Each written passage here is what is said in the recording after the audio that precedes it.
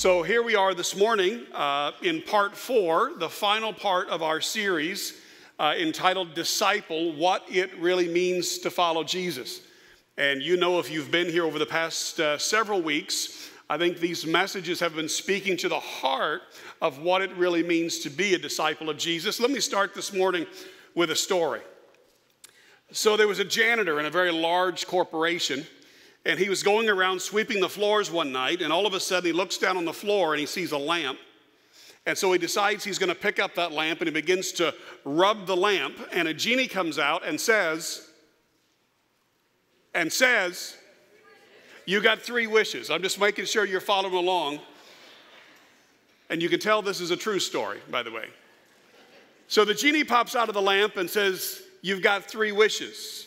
So the guy stops and thinks about it, says, You know what? I've got a, I've got a wish. I, I want to be, I'm tired of pushing this broom around. I want to be somebody important in this organization, somebody that people will recognize. And poof, just like that, all of a sudden, he's got a nice office, got a, got a nice, uh, nice desk kind of in the middle of the building, and got a, got a nice position there in middle management. And he's like, oh, yeah, this is good. This is good. But he's like, you know, this is pretty good, Genie, but I, have got a second wish. He says, Now that I think about it, I, I want to be more important than this. I, I want, a, I want a higher position than this. I, not only do I want people to recognize me, I, I want to be the guy who's making the big decisions around this organization. And as soon as he said it, poof, just like that. Now he finds himself up in the penthouse on the top floor, that corner office, great big honking furniture, big leather chairs. I mean, man, he is definitely at the top. And already knowing what his third wish is, he looks at the genie and he says, Okay, genie, my third wish. I, I don't know how you can top this, but, but he said, For my third wish, I just want to be the greatest and most important person in this whole worldwide corporation. I mean, I want to, I want to be the, the, the, the most uh, uh, uh, influential person here. And just like that, poof, he finds himself back in the basement with a broom in his hands, sweeping the halls. I want to ask you a question this morning I want us to think about.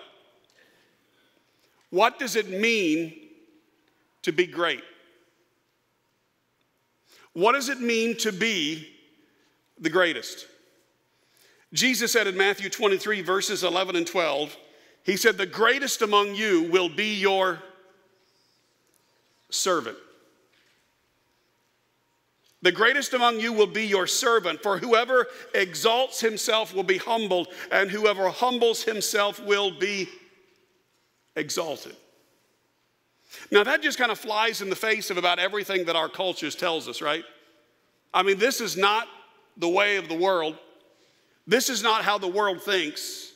Think about the language that we use about the greatest in our culture. I mean, you got to climb to the top, right? Isn't that what the language is all about? You've got to climb to the top, you've got to get ahead, you've got to achieve, you've got to climb that corporate ladder. I mean, the goal is I want to be the big cheese, I want to be the top dog, I want to be the chief, I want to be the big pig. You know what I'm saying? You got to you want to be all the way at the top. That's what it means to be great. But in the culture of the kingdom, as Jesus so often does, he turns the whole thing on its head. And he says, You really want to be great? Listen to me. He said, You, you descend to greatness. You descend to greatness. And so this week we're going to look at a story about the disciples and Jesus. And it's, a, it's, a, familiar story. It's one that we talk about a lot when we're preparing for communion. We celebrate communion here about once a month. I think next Sunday we're going to. And in a couple of days, as they're having this Last Supper, Jesus is going to be crucified. I mean, it's not far off at all.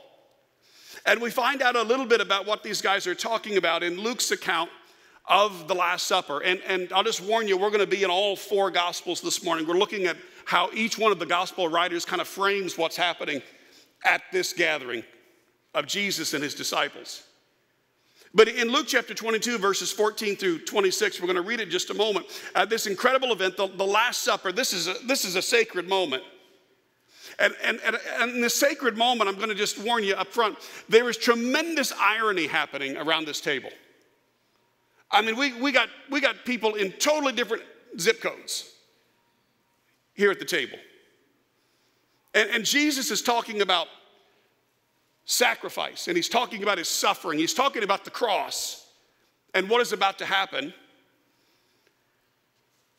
But guess what the disciples are focused on? Pride and privilege. And there's this incredible disconnect, this incredible irony as you see this story unfold. And if you've got your Bibles, let's go ahead and read it. They're having this discussion. Actually, I, they're having an argument. And they're arguing about who is the greatest. So you can kind of sort, kind of sort of see these guys around the dinner table and, and, and, and how they're arguing their case. Luke chapter 22, let's start with, let's start with verse 14. It says, When the hour came, Jesus and his apostles reclined at the table, and he said to them, I have eagerly desired to eat this Passover with you before I suffer. Here, here is the, the tone of Jesus, the theme of Jesus, what's about to happen. For I tell you, I will not eat again, eat it again until it finds fulfillment in the kingdom of God. After taking the cup, he gave thanks and said, Take this and divide it among you, for I tell you, I will not drink again from the fruit of the vine until the kingdom of God comes. And then he took bread, gave thanks, and broke it, and gave it to them, saying, This is my body. Do you, do you hear these words? This is my body given for you. Do this in remembrance of me. In the same way, after the supper, he took the cup, saying, This cup is the new covenant in my blood. Oh, this is a big deal, which is poured out for you. But the hand of him who is going to betray me is with mine on the table. The Son of Man will go as it has been decreed, but woe to that man who betrays him. They began to question among themselves which one of them might do this. A dispute also arose among them as to which of them was considered to be the greatest. Can you imagine? As Jesus talks about his death, they're talking about who's first. Jesus said to them, The kings of the Gentiles lord it over them, and those who exercise authority over them call themselves benefactors. But you are not to be like that. Instead, the greatest among you should be like the youngest, and the one who is greater, and the one who rules like the one who serves.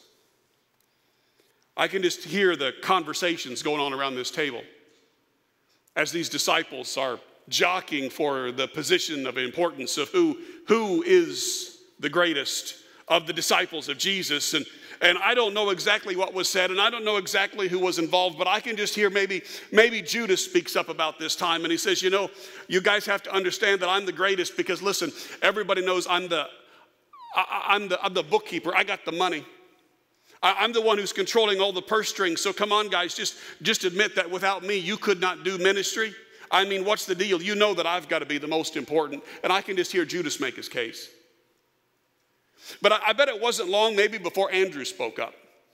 And we don't know a ton about Andrew, but what we do know is he was, he was like the first one to be called. He was the first disciple. And I can just hear Andrew speak up and say, hey guys, you have to remember, I was the one Jesus picked first. I think I'm the most important. I mean, it just goes without saying. I can imagine John would chime in about this time and say, oh, come on. I was there too. I was there too. And, and, and guys, just remember, remember that time when we were on the mountain and Jesus starts a glowing? You remember?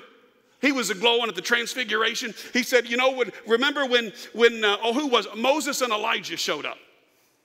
Guess who was there, fellas? That was me, John said. I, I was there. And I think that puts me at the top. And you just have to know that at some point, old Peter's going to chime in. You were waiting for Peter, weren't you?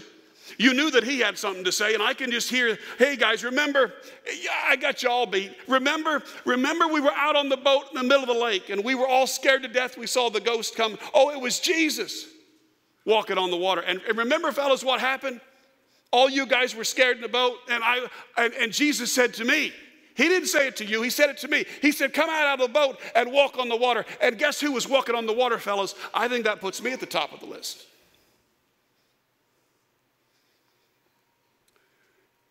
Just who was the greatest? And Jesus, in the way that only Jesus could do it, it is the one who serves. You descend to greatness. In week number one of this series, we talked about what a disciple does, who a disciple is, and we talked about the reality that a, a, disciple is one who touches lepers and befriends sinners, and, and, and one who, in doing that, oftentimes offends kind of the Pharisaical figures of our day. In week number two, we talked about the reality that a disciple of Jesus is one who goes fishing. And I know some of y'all like to really go fishing, but what Jesus is talking about is being a fisher of men, to go out and proclaim the good news of Jesus Christ to anyone who will listen and tell them to come to Jesus. Last week, we talked about the important task of disciples doing life with other disciples. That is a definition of who we are. We are not alone in this, but we truly are together in this. And so you've got this conversation going around the table who is the greatest? And this week we're going to find out that a, a disciple of Jesus is one who washes feet.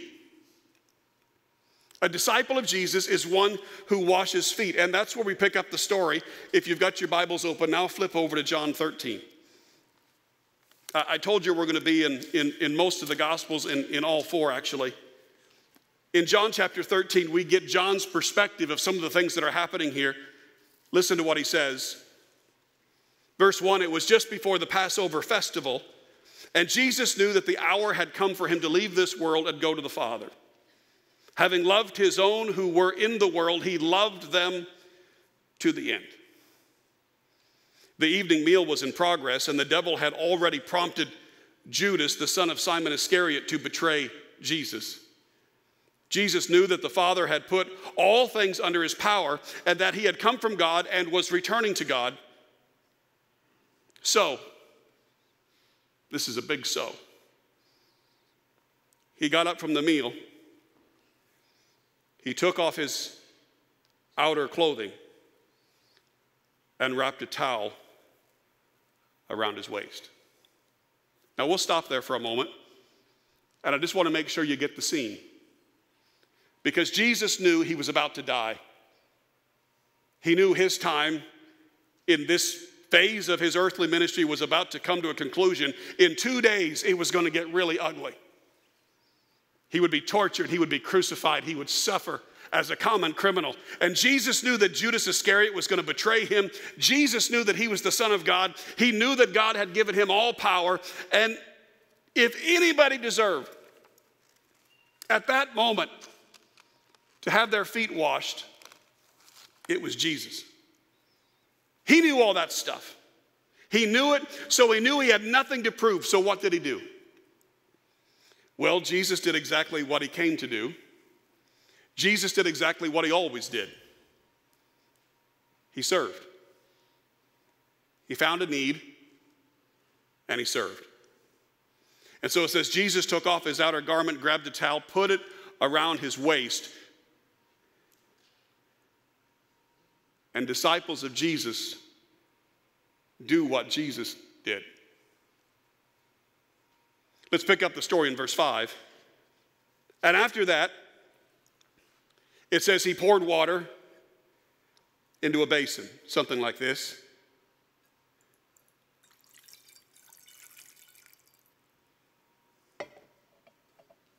He poured water into a basin. Now, remember that basin. We're going to come back to it. And so he poured water into a basin and he began to wash his disciples' feet, drying them with a towel that was wrapped around his waist. To understand the immensity of what it meant to wash feet, you kind of have to understand this custom, this practice in its context, because the reality is, I think we have a hard time connecting with this. You have to understand that in Jesus' day, there were few paved roads, concrete, asphalt. yeah, right. In first century Palestine, the roads leading into Jerusalem were mainly dirt roads filled with dust and rocks, you know, inches of dust if it's dry. And then as soon as it begins to rain, that dust turns into a cake like mud. Shoe apparel was minimal. Obviously, it was not anything more than a protection on the bottom of the feet with a strap across the top. So, shoes were not necessarily keeping anything off of your feet. Just small pieces of leather, a sole with a leather strap, very simple. And basically, the reality was that anything you walked in was on your feet. And I have to remind you what they were walking in. Because these roads were not just traversed by people, but they were traversed by animals. and animals just tend to do what animals do whenever they kind of feel like doing it. I don't know many that walk to the side of the road to do it, they just kind of do it. And so when you're walking down the path, you're walking in whatever has been left behind.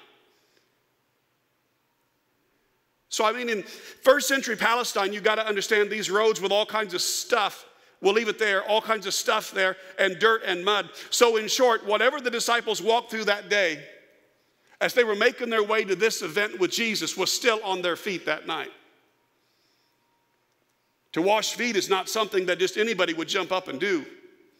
Got, again, you got to understand the culture. It's, it's just not a task that you're happy about, but it even goes further than that. In fact, who was the kind of person that would wash feet? Well, there was a specific kind of person who would do it.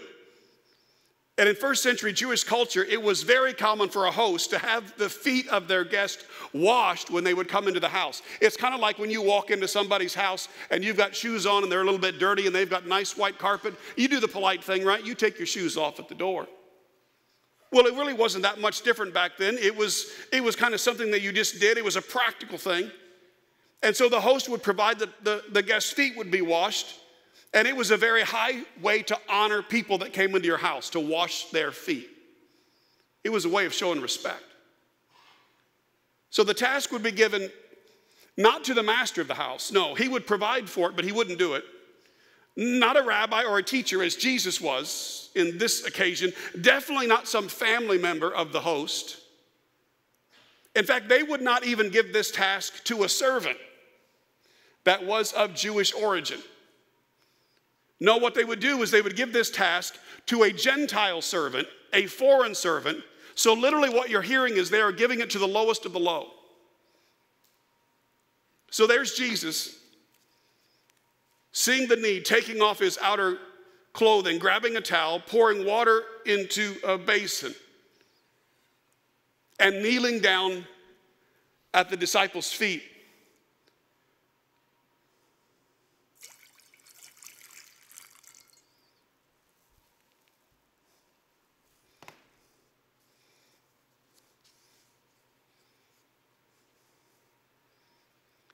You can almost feel the tension in the room. The disciples know what that task is. This is not an unfamiliar custom. And they know who it is that normally performs that task. And there was a great amount of tension in that room as the disciples watched this happen. You can sense the awkwardness when Jesus is kneeling down to do this, and Peter looks to him and asks the question in verse 6 Lord, are you going to wash my feet? Jesus, is, is that what you're about to do? Because I'm not comfortable with this at all. I mean, it's coming together in their heads. And when he finds out, Peter is like, Never! Never. Are you going to take that position and wash my feet? I can only imagine what's going through Peter's mind about now as he's watching this unfold because Peter, oh boy, the reason he reacts so violently to it, I think there's a reason for that. I, I think there was a reason for that. In, in Peter's mind about now, he was realizing he messed up. You see, Peter messed up? Yeah. Luke 22, verses 7 through 13. Listen carefully. This is not on the screen. Then came the day of unleavened bread on which the Passover lamb had to be sacrificed. Listen. Jesus sent Peter and John saying, Go make preparations for us to eat the Passover. Verse 9, Where do you want us to prepare it? They asked. He replied, As you enter the city, a man carrying a jar of water will meet you. Follow him to the house that he enters and say to the owner of that house, The teacher asked, Where is the guest room where I may eat the Passover with my disciples? He will show you a large room upstairs, all furnished. Make preparations there. Instructions given. They left and found the things just as Jesus had told them, so they prepared the Passover. Kind of.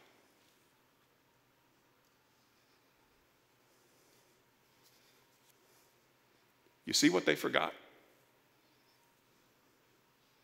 Peter was given instructions go prepare the Passover meal.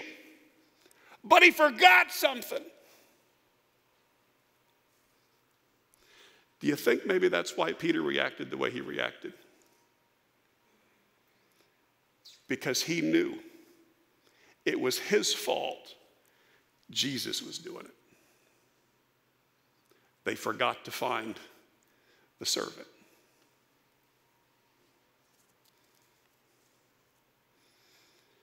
Man, we should have thought about this, John. I mean, somebody else should be doing this. And I'm guessing that Peter was thinking, oh, man, I should be doing that. But Jesus shouldn't. I blew it again.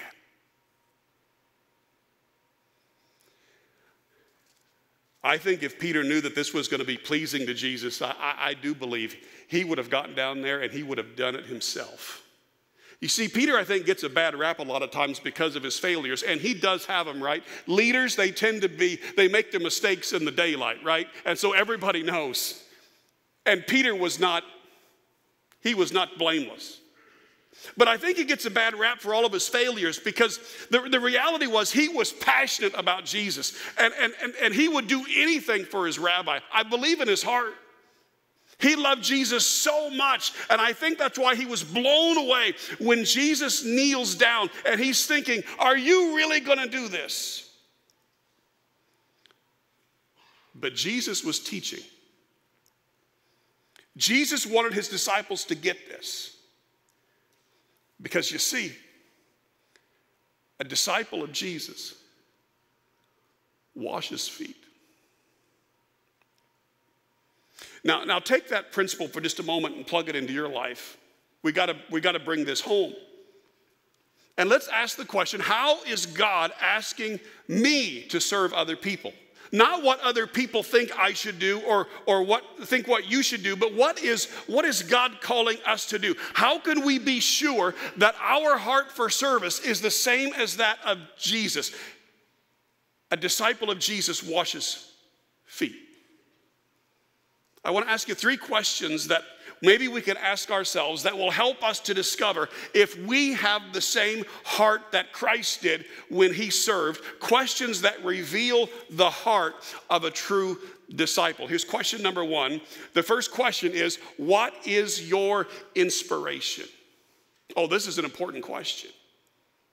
And the reason it's an important question is because we see this in Scripture messed up so many times. In fact, the very people that Jesus was in conflict with all the time, the Pharisees, we know what their inspiration was. Interestingly enough, their inspiration was pride and privilege. The very thing the disciples were doing. They, they did good works only if, it, if they would get credit, only if they would be seen, only if people would say, ooh, ah. Hey, everybody, look what we're doing. Look at the sacrifice I'm making. You see, Jesus didn't have anything to prove. He knew it all. He knew who he was. He didn't have to prove anything. In fact, if you watch Jesus' ministry and you look at the way he served, there were two things that constantly motivated him time and time again. Read through scripture. He was moved with two things compassion and love. Over and over again. Moved with compassion and love. When he saw the hungry people, he was moved with compassion. We got to get these folks something to eat. When the children were, were, were all hoarding around Jesus, when they were coming around Jesus and the disciples tried to send them away, he's like, No, no, no, let the little children come to me. Love and compassion. The kind of compassion that comes from the inside out. We talked about it, Well, you just can't help but do something. Question number one What is your motivation? Do you see the need like Jesus does? Or are you just doing a task? Are you doing it for pride or privilege? Disciples of Jesus wash dirty feet. Second question you have to ask yourself I think to determine your heart, not only what is your motivation, but what, what is the need right in front of you? What is the need right in front of you? Now, listen, Jesus had a huge need in front of him, and it wasn't necessarily just about dirty feet. Jesus had a huge need of the crucifixion. At, at, at, a time when he, he could have easily just been focused on that and what that was going to mean. I mean, can you imagine knowing that was about to happen and having any way possible to think clearly about anything else?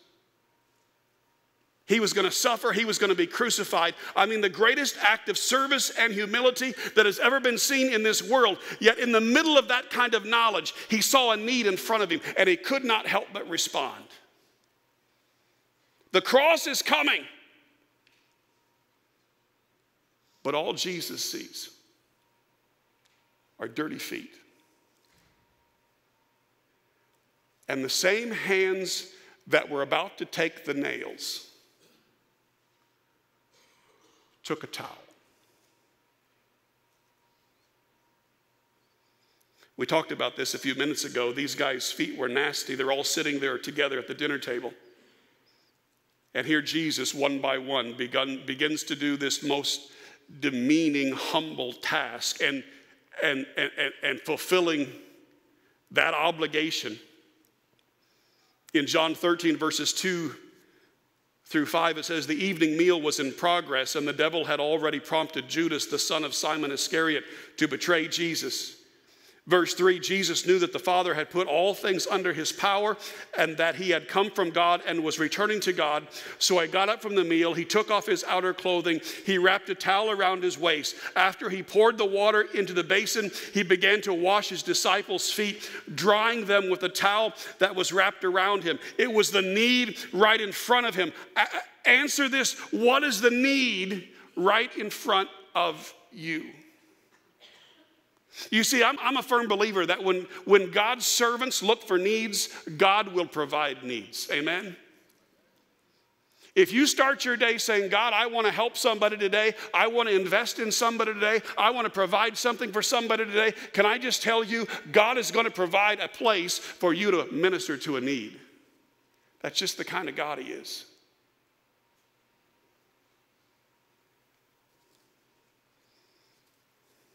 You know, I've been here, told the early service, it's kind of hard to believe, three and a half years already. These are odd times, aren't they? Feels like it's been six months, and sometimes it feels like it's been 20 years. I've come to love this church and have a burden for this church and our community. And I believe strongly I believe so strongly that if we can get passionate about the broken and the hurting, there are incredible days ahead for this church. I, I believe that. I, I, I, know your history, and you've got a great history. And there have been great days. But can I just say, there are still great days. There are still great days as we move ahead. But I want to tell you something. I, I, I, think I've been here long enough that I've earned the right to say this. I, I think sometimes our, our biggest problem, I think the biggest problem of most churches is that the tendency is we're focused too much on ourselves and not enough on the dirty feet. And the reason I know that sometimes we get focused on ourselves and I get too focused on myself is I begin too many of my sentences with I.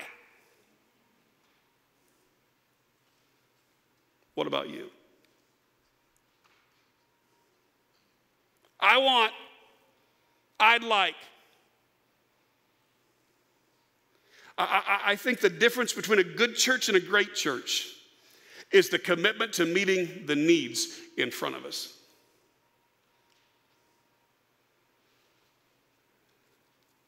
Not I want to be served, but I want to serve.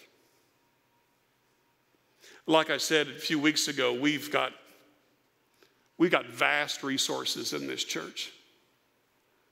And, and hear me, I'm not talking about buildings and money. We have those resources. The vast resources we have in this church are the hundreds of people sitting in this room this morning. The hundreds and hundreds of people that represent the Naz. We have vast resources.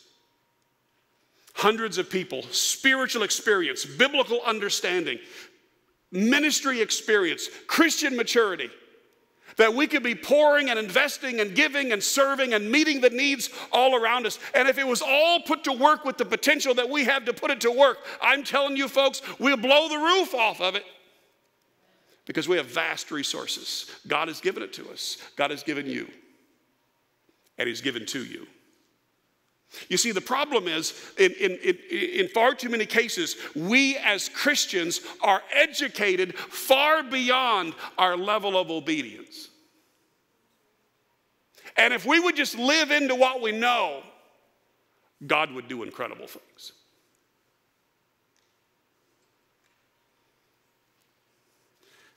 But here's the need in front of us right now. The need in front of us right now is for large numbers of people to move beyond an intellectual understanding or a spiritual agreement with the Great Commission to actually begin to engage in what's going on here on a much deeper level. Now, listen, I know we've got some incredible servants in this church. We've got people who have made a lifestyle of service, and please hear me. Thank you. But I think we've yet got some work to do that we need people who are willing to step up and partner with the church, with one another, inside this building, outside of this building, and begin to see dirty feet and begin to meet those needs in a hundred, in a thousand different ways. I don't know what God is going to lay on your heart to do, but, but what I do know is this people with the heart of Jesus have a servant's heart and they look for ways to respond to the needs in front of them. Again, what is the need in front of you right now? Whatever it is, God will direct you to it. Because disciples of Jesus wash dirty feet. Third question What is your motivation? What is in front of you?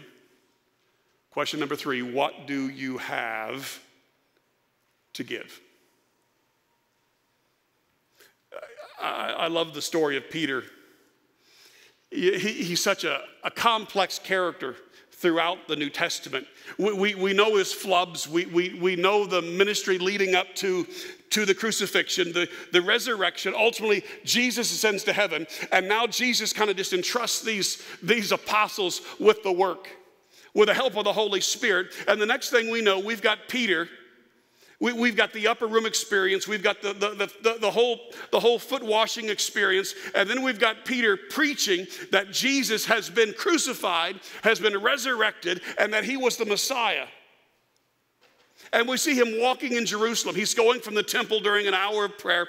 And, and remember the story? He sees a beggar sitting alongside the road. And, and this beggar is doing what beggars do. He was asking for money, and he hasn't walked since, since birth.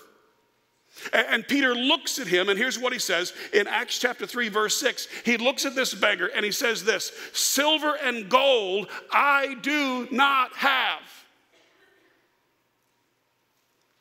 But what I do have, I give to you. In the name of Jesus Christ of Nazareth, walk. Did you catch it? What I have, I give to you.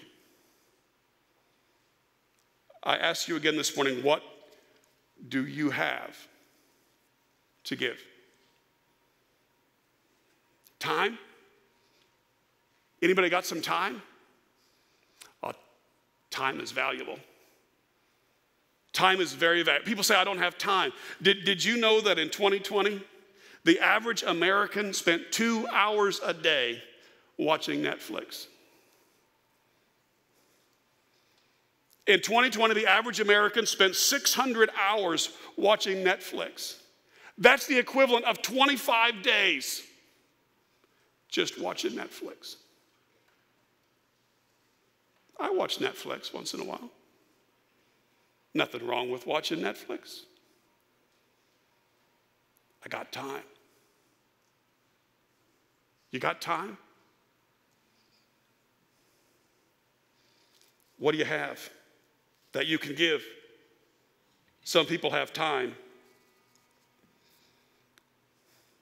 Some people just have a genuine concern to walk along a struggling chick, uh, a Christian and men- mentor to them and minister to them. Some have incredible gifts. Some, some just have this, this overwhelming compassion that when they see somebody hurting, they, they just can't help but respond.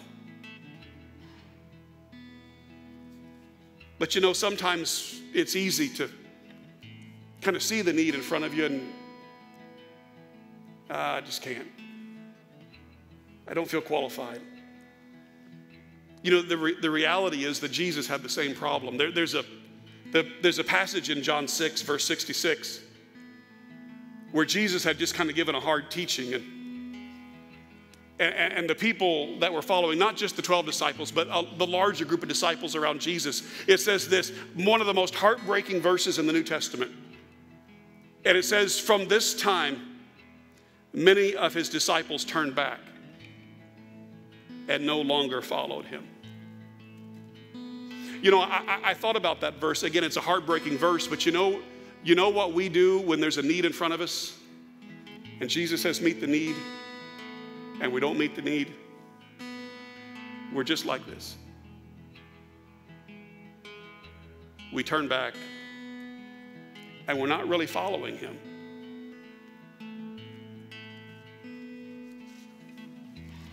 You see, my fear is that if we don't get busy, church, we're going to be going to our graves having never made the difference that Jesus wanted us to make. Because we never were willing to give what we had to give. I, I fear we're going to wake up one day before God and He's going to challenge us.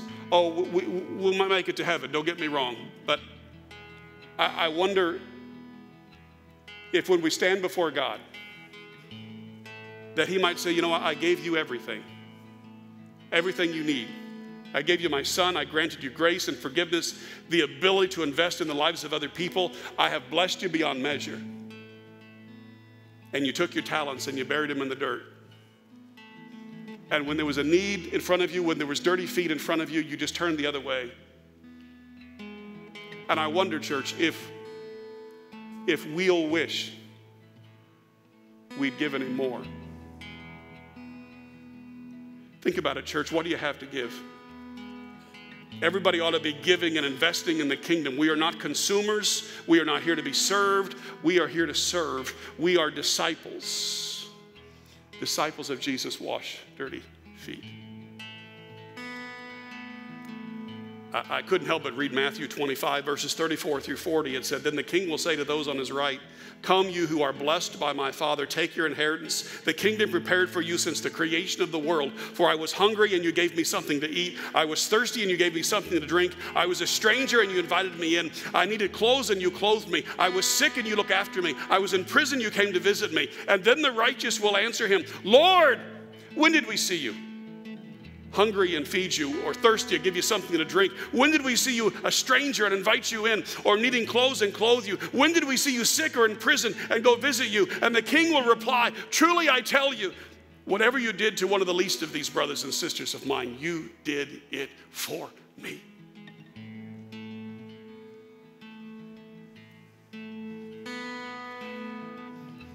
What is your inspiration?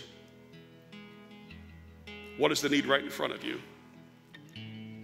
What do you have to give?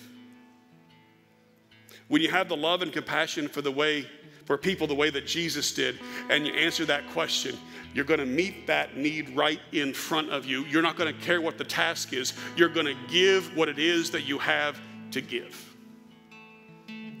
Because that's what a disciple of Jesus does. Remember the basin? I told you we were going to come back to it.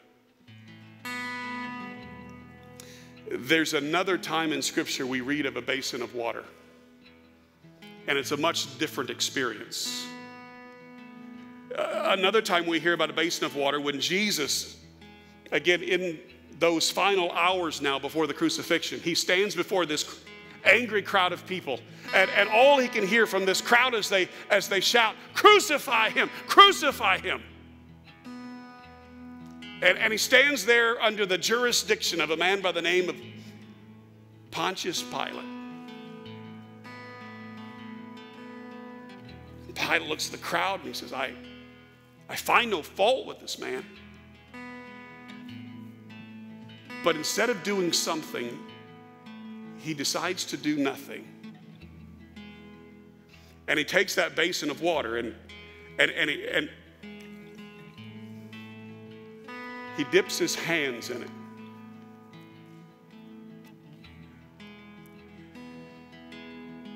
And he washes it.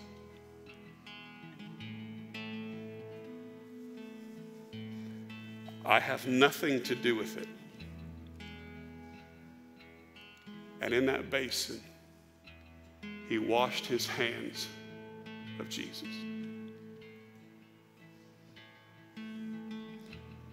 You see, the reality is, I, I think we each one have a basin of water in front of us.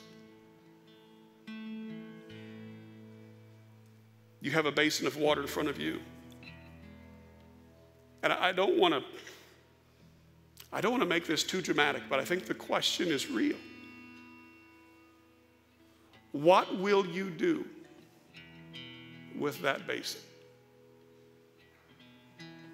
Will you say, you know what, I this is too much for me. If this is what it means to be a disciple of Jesus, I'm sorry, Lord, I just, I'm, I'm out. And we can dip our hands in that basin and we can wash our hands of it and we can say, uh, I, Jesus, I can't follow you. Not there. Or we can take that basin of water and we can take a towel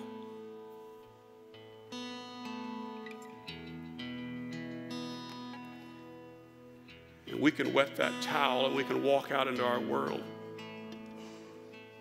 looking for some dirty feet.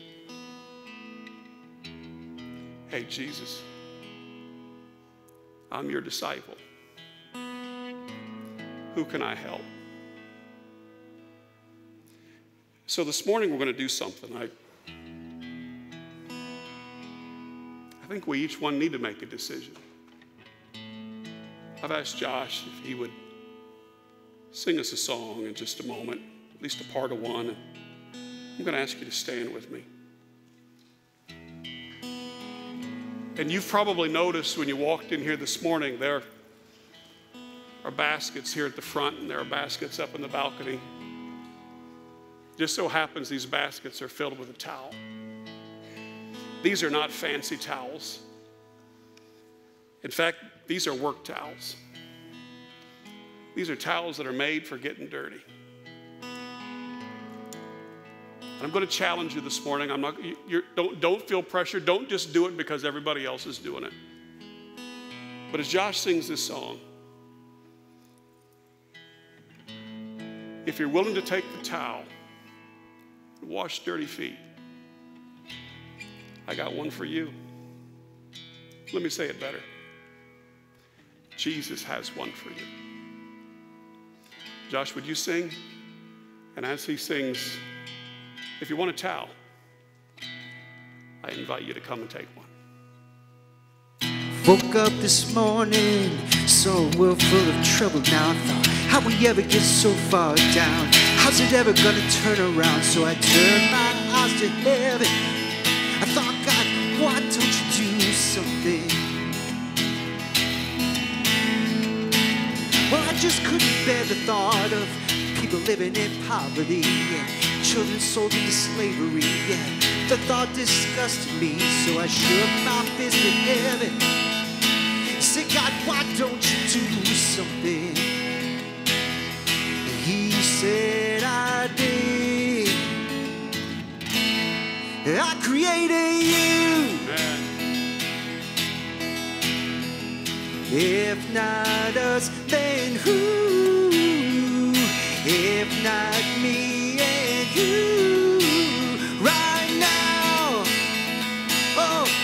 it's time for us to do something. Praise God. Yeah. If not us, then when will we see an end to all this pain? Oh yeah, it's not enough to do nothing. It's time for us to do something. I'm so tired of talking about how we are God's hands and feet, but it's easier to say than to be like angels of apathy who tell ourselves it's alright, somebody else will do something. Well, I don't know about you, but I'm sick and tired of living with no desire. Be the one who says, I'm going to stand, I'm to do something. If you don't sing with me, if not us, then who? If not me and you, right now, oh yeah. it's time for us to do something. And if not us, then when will we see to all this pain? Oh, it's not enough to do nothing. It's time for us to do something. Come on, we're the salt. We are the salt of the earth. We're a city on the hill. Shine,